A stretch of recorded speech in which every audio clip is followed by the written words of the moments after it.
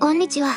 今回紹介する美少女は相沢里奈さんです。この動画では相沢里奈さんの水着画像、水着おっぱい画像、生白像なんかのいた写真を紹介しています。しっかりとくびれもあり細身なのでカップ数以上に大きく見えますし、まさに男からしたら一層の大抵でしょうし嫌いな人はいない大抵ですね。こんな女の子さんと色々しまくれたら最高でしょうね。女優としては下着姿や馬の立勢で腰振りする過激なヌード濡れ場のクズの本会で演じてくれていますし、グラドルとしても水着や下着姿だけではなくセミヌードグラビアも披露していますので、ビニールの首とか輪っかとかを解禁してくれたらもう言うことはないですね。動画最後に一番のエッな写真を掲載しています。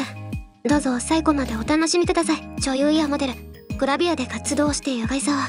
今さんの少し若い頃に撮ってたデジタル写真集の力川厚切ら水着やワンピース姿の得た写真を3サイズやカップサイズなどプロフィル情報と一緒にお届けします。いいなと思った相沢里奈さんの写真があったら高評価ボタンやこの写真がいいなどの熱い思いをコメントに出してみてください。2019年には語学留学にも出ていたと相沢稲さん。2022年6月に5年ぶりとなる通算6度目の週刊プレイボーイの表紙を飾り、黒クリ VD と共に4年ぶりのクラビア活動への復帰を果たしています。めちゃめちゃ可愛い愛沢リナさん。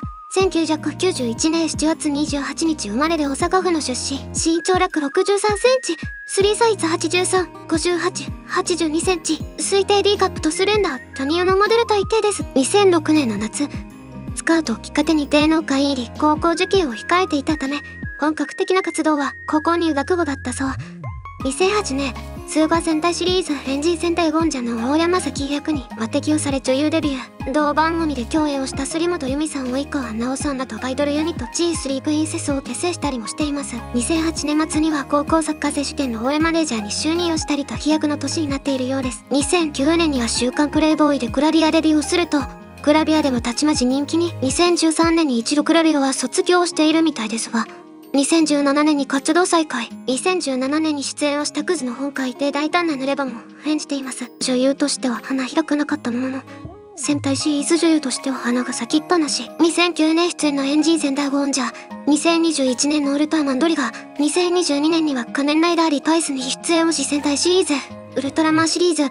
仮面ライダーシリーズと三大特撮ドラマを制覇しています。今回はめちゃく花特撮女優。相沢里奈さんのな写真を見ていきましょう。若い頃に撮ってたデジタル写真集の画像をいくつか活形をしたので、動画にしてみました。この写真集の中では、ビキニやすく水っぽい水着姿があったり、足を大胆に見せているセクシーショットがあったりととにかく結構過激な画像がいっぱいありました。セクシーな感じもそうなんですが、普通にグーの根も出ないほどに可愛いところがガイ沢さんの特徴です。週刊プレイボーイのスペシャル写真集伝説の美少女。で、4年ぶりのグラビア本格復帰を果たして、これからもどんどん変な姿を見せてくれることを期待したいですね。では、愛さ稲さんの変な少年たちをナレーションなしで見ていきましょう。